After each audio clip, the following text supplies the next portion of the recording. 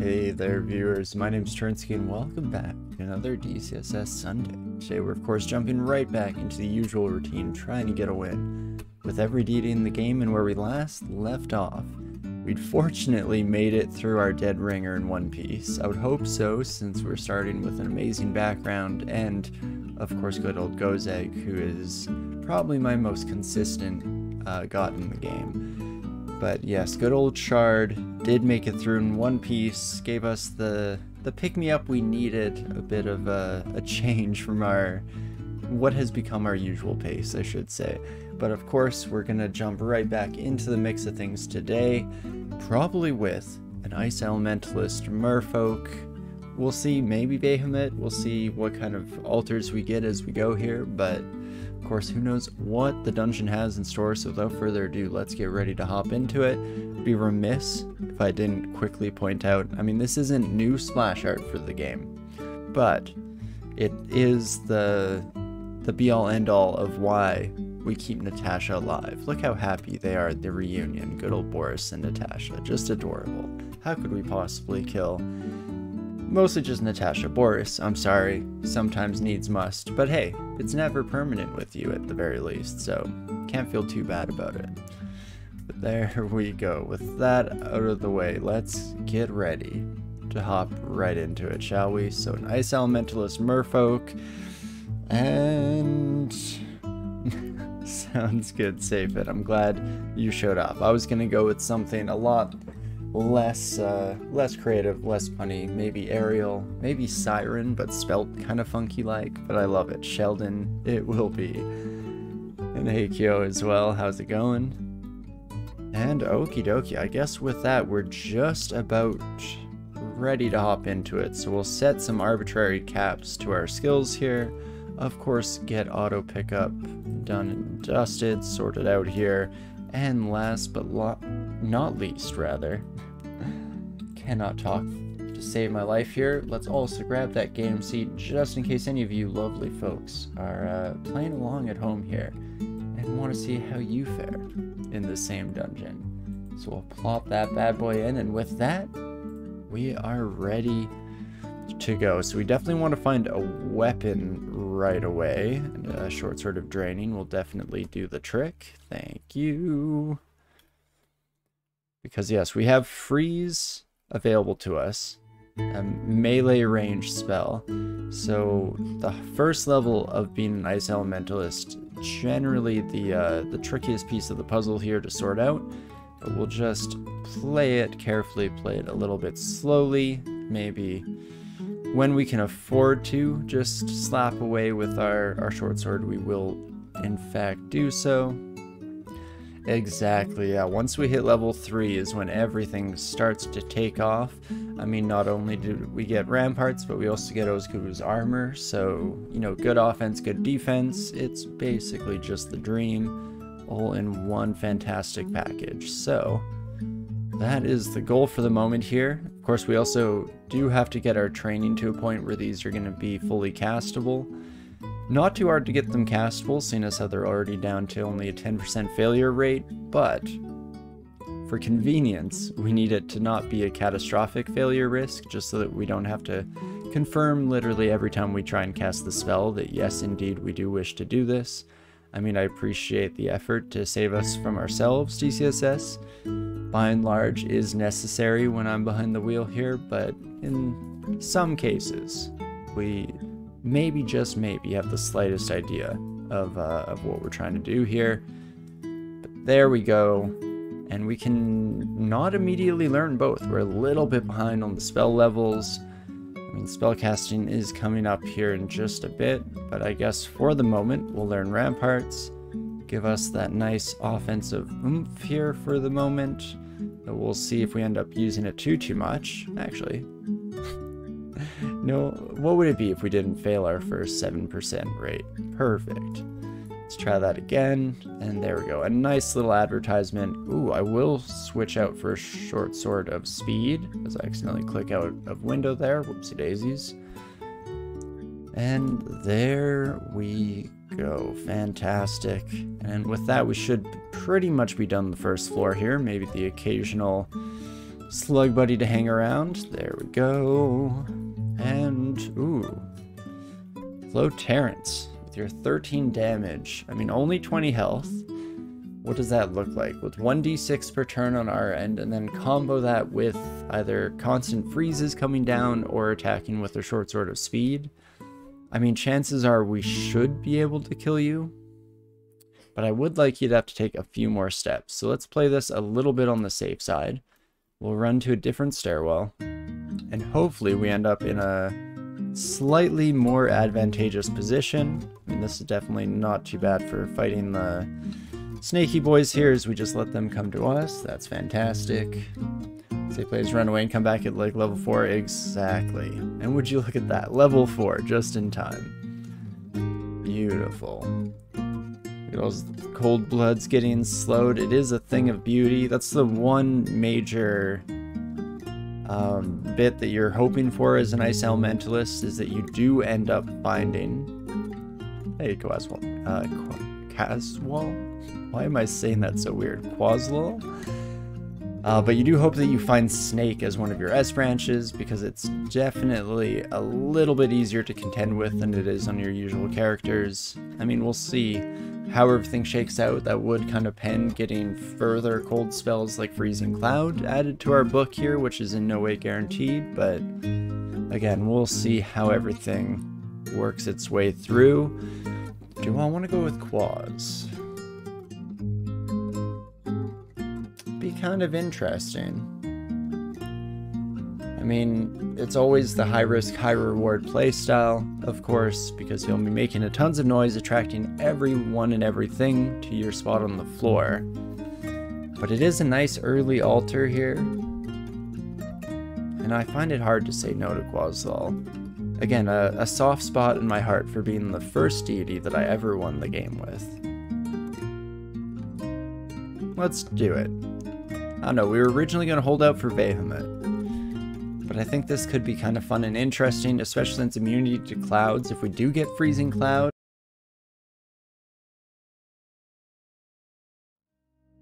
Thanks, Kia. oh, we are on a roll today.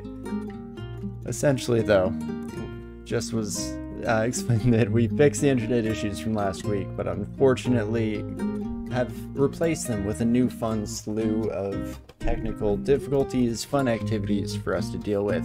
One of which is me just not realizing that we were muted. So that's perfect. What a great way to start our Sunday. Oh me oh my. Well, let's see. Sheldon still exists, so we didn't scratch everything. Is it going to be like pre-shaft, post-shaft? It is post-shaft, but I think this was right when we got shafted down. Okay. So, I know Safin was mentioning that potentially the, the source of the issue there was Vehumet's displeasure at having been snubbed by the, the Qazlal choice. And you know, definitely might have been onto something there. Oh, but do we do we listen or do we not learn from our mistakes? Definitely not one to uh, to learn from my mistakes in general. If this channel's anything to say about it.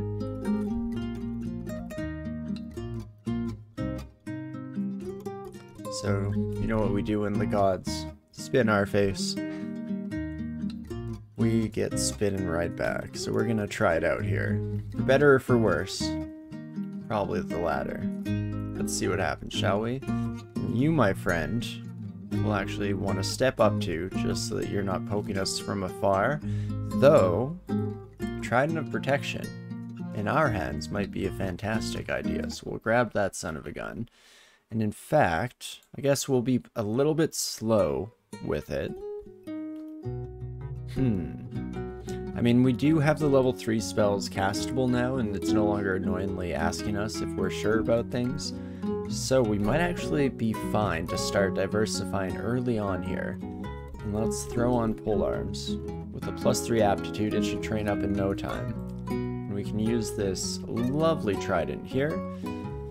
Um, that's... that's Robin, if I had to guess. So we'll surround ourselves with the ice here in more ways than one, also getting Ozocubu's armor sorted. And that should be fantastic. We go up to 15 AC with the combination of our Icy Armor and Protection Brand, so that is just lovely.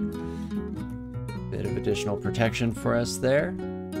And okie dokie, let's just get right back into it.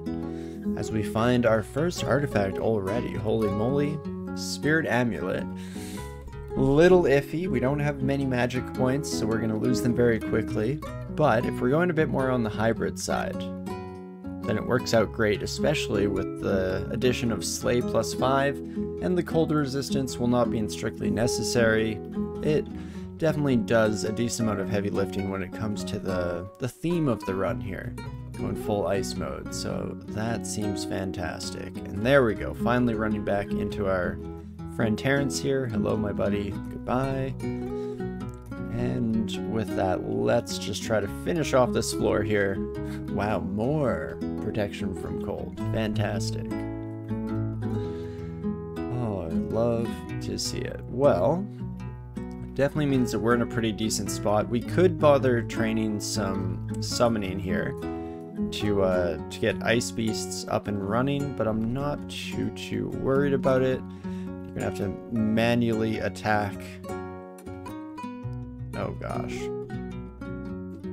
Um, confusion. Hey, thanks, Sigmund. Always a bit of a rough spot. We could start chugging potions now, I guess, and just hope that we get rid of it. Oh, it was canceling.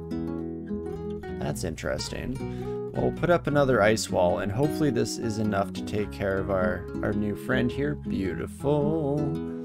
And a robe of fire resistance I will immediately change over to. The plus 2 AC also doesn't hurt whatsoever, so that is fantastic. And let's just keep rolling with it, shall we? Confusion your greatest foe, uh, isn't it? Isn't it all of us here? Unfortunately, it's a integral part of the dungeon's ecosystem, so we're gonna have to deal with it. If not now, then definitely in the future, but... My gosh. Uh, hey. There, Natalie, we were just talking earlier about how we, we do not wish to do any harm to you, my friend. Unfortunately, I think the storm might wake up our, our poor cat buddy. Maybe not, though. In fact, seems like Natasha sleeps like the dead, takes after Boris in that regard, I guess. And we'll just wait for you to notice me, my hobgoblin friend. And there we go, Natasha ruining everything real quick, but that's fine. Fortunately, we do know we can take care of you once, not the end of the world. You will come back and are still alive. Son of a gun. New plan. I turn you into something. Oh, a wolf is not good. Maybe I should have checked what the options were. Adder, bullfrog, or boggart. Earlier it was killer bee, jelly, or wolf. Oof. Well, is it really killing Natasha? It's a dog. Natasha isn't a dog. Main reason why I find myself thinking this is because unfortunately, you keep coming back as a fast son of a gun. Oh, that's the first time I've ever seen Natasha revive on the same screen that we started on. Um, okay. You know what? We're just gonna leave you. Uh, yes, my armor will break. That's totally fine. So you're saying there's still a chance that we keep Natasha alive after all that. So let's let's do our best to see that come to fruition, shall we? I'm just looking for a downstairs as soon as possible. With Qazlal, we make enough noise that there's almost no shot that our feline friend won't uh, eventually come our direction as we continue to wander about. So, if I could get that stairway just immediately, please and thank you. There we go. That is beautiful. We got enough that floor that we didn't really miss out on too much experience either. So it should not be the end of the road whatsoever. I do not like that we just came into a, a beautiful forest here. Normally a fan of nature, but unfortunately in this context, it means that we do not have access to frozen ramparts, seeing as how trees don't count as walls, unfortunately. There we go. We get back out into regularly scheduled dungeon. Unfortunately, Bork does a bunch of damage. Holy moly, friend. It's just with your glaive too? Jeez Louise, you do not fool around. But there we go. We've managed to settle, and now we can hopefully just make it through the rest of these Sons of Guns.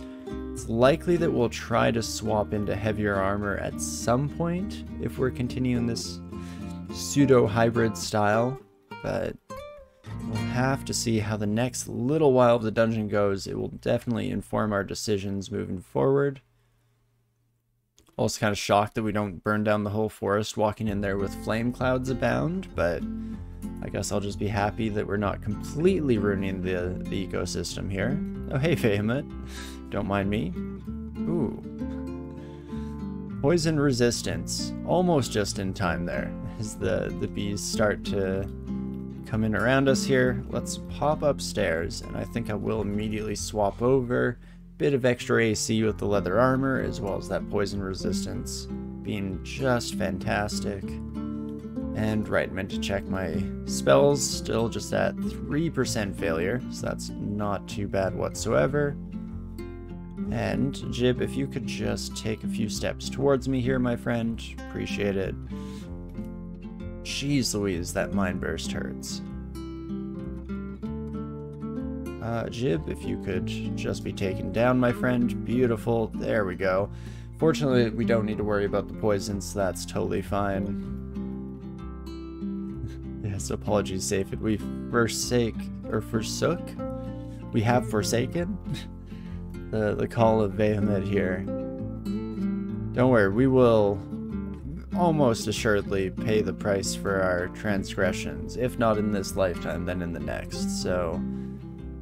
Vehumet will have the final word, I am sure. That is one of the, the benefits of being an all-knowing, immortal deity of uh, destruction here, I guess. Can I afford to just stand here? I don't want to stumble out of the way. And, you know, it does seem to work out for us, so don't mind that whatsoever. Ooh, and the white imp showing up. Normally, a huge pain in the butt on your Ice Elementalist characters, but fortunately we have decent training and aptitudes towards our, our lovely Trident here, so it's not the end of the world, at least not yet. And that should be the floor here. Beautiful.